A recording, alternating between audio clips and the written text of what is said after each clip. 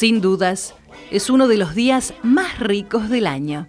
El Día Internacional del Chocolate se celebra el 13 de septiembre, recordando el nacimiento del empresario Milton Hershey en 1857 y del escritor Roald Dahl, autor de Charlie y la fábrica de chocolates.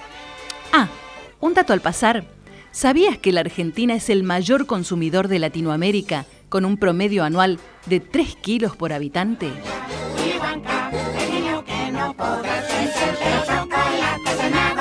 Días se elabora, igual que los alfajores, eh, todo, todos los días, de lunes a lunes, inclusive los domingos, así que la gente puede llevar todo fresquito eh, del día, así que tenemos un montón de variedad de cosas.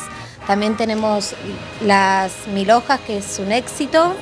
Eh, muchas clientes ya lo llevan de postre, son todas capitas finitas de chocolate con dulce de leche, exquisitas, así que... Y el clásico chocolate en rama también, que vi un...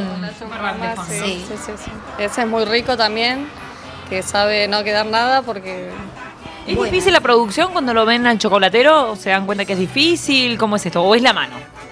Es la mano, es súper artesanal, se hace de todo artesanal, así eh, se corta también artesanalmente, con, o sea, eh, muchas veces recibimos contingentes y todos, y él los hace pasar a cada uno, les muestra cómo se hace, cómo se funde el chocolate, el tiempo que lleva, eh, todo. La verdad que sí, para él, obviamente, hace tantos años, uno que lo ve de, de- claro, es cancha, sí, nosotros sacamos chocolate nomás, él hace todo, o sea, Se van con este olorcito rico todo. sí, sí, sí, sí, tal cual, sí.